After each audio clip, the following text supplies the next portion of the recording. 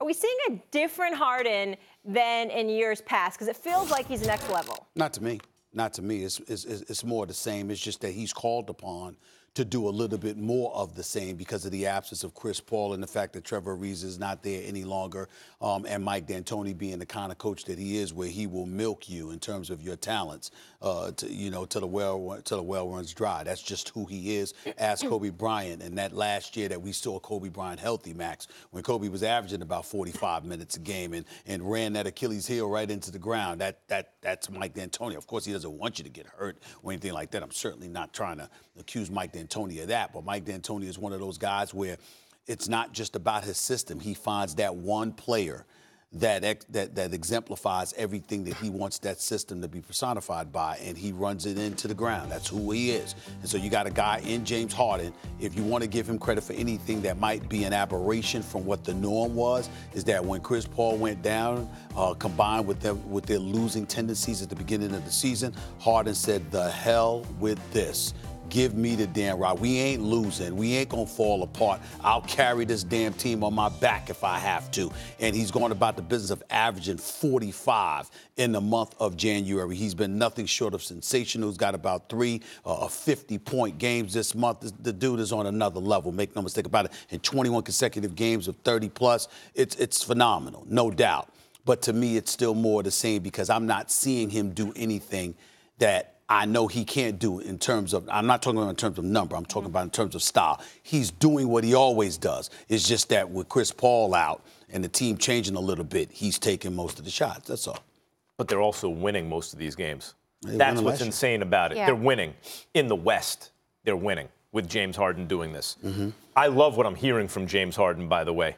Mm-hmm. He's all time great. He goes, Oh, you can't say, can't put me there yet because Stephen A, I think we are seeing a different James Harden, and it's reflected in that attitude. He knows what he's got to do. Mm-hmm. He's got to win a chip. He's got to do it when it matters most. He knows that. By the way, when I sit here and I say James Harden, like he hasn't done it under pressure, he's a significantly worse player under pressure. He is the poster child at the moment for choker in American team sports in the sense that he is MVP. That means the best in the regular season in a league with LeBron James and, and Kevin Durant and Anthony Davis and the Greek Freak and all these incredible, oh my God, we've never seen it players. He's the best until it matters most. And then he's not. That's a huge fall off. He is aware of that, it sounds like to me. Mm-hmm. And he knows he has to do something about it. When I question whether or not he can, I'm not saying he can't. I'm saying he hasn't done it yet. And Stephen A., when we compare, let's say, Jordan to, L, to, to LeBron, um, one of the points you bring up is Jordan arrived in the league as a killer. LeBron had to get there. I don't hold that against the guy. I don't hold it against Harden because to me it's more interesting. It's the journey, the distance traveled, it's the journey. And I did see signs last year in the playoffs that he is getting over whatever that is, especially on the defensive end. Mm-hmm. And he was taking good shots, they just weren't going in, mm-hmm. but they got to go in. Mm-hmm. So the question is is Harden different? And you touched on it. This is just the extreme version of what he could do, right? Where did this really start? This whole style of play started with Rick, with, with Rick Pitino's bomb squad on the Knicks, Stephen A., back in the day when we were kids. Mm-hmm. You know, Mark Jackson and Gerald Wilkins. Trent Tucker was a great three point shooter. But most of those guys weren't great three point shooters, but they were competent. And he was just like, we're going to take a lot of them. You know why? You get an extra point for them. So they took a lot of them. What, what Mike D'Antoni did was take that to its kind of absurd extreme. All I want is threes and free throws or layups, you know, and dunks. We want everything in the paint or behind the line. And James Harden is his ultimate muse. Almost every single point James Harden scores is either behind the three point line or at the free throw line. Like, that's everything. So, is it a different James Harden? I know what you mean. No, this is his style of play. It's just the most extreme version of it. Yes, but that means to me it's different. It is let's take this philosophy as far as it can possibly go.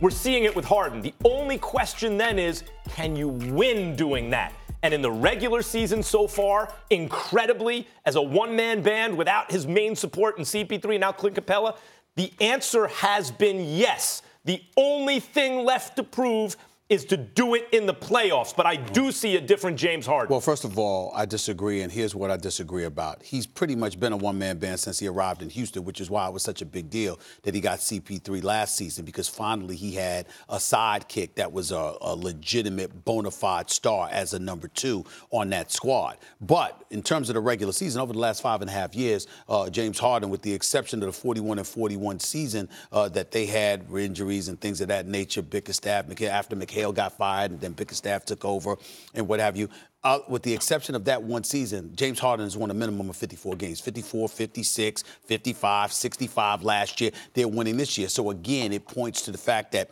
we're accustomed to seeing James Harden do what he's doing now. From the prolific standpoint of numbers, no, but he's being asked to do more this year in terms of taking more shots. But the manner in which he's doing it and the kind of things that he's been that he's putting on display, I've seen James Harden do this a lot of times. I've seen him hit threes. No. I've seen him get to the free throw line at will. I've seen him get to the hole. I've seen him score at will. And I've seen him do it dancing. It's not like he's moving without the ball. They're setting screens and picks for him. And all of a sudden he's catching and shooting. James Harden gets the ball and everybody moves out but the here's way. the thing you're glossing over an important point. I understand your point. You're saying he can do this, he's just being asked to do it more.